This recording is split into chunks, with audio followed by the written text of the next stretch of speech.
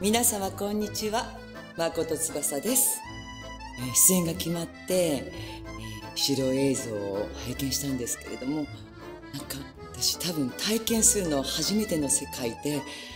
どうしようこの世界に入っていけるかなと思ってたら最後にはそのチョンさんが描く演出のこの舞台に引き込まれていてなんか自分がこの中でどうやって泳げるんだろうかなって楽しみになりました。えー、自分の役は剣みゆきさんが前なさってたんですけれども足元にも及ばないかもしれないんですけれども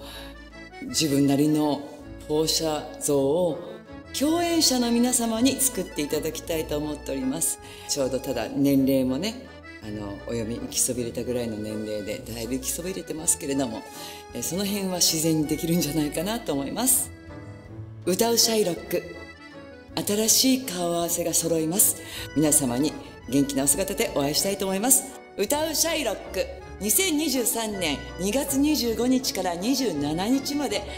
博多座で上演いたします。劇場でお待ちしています。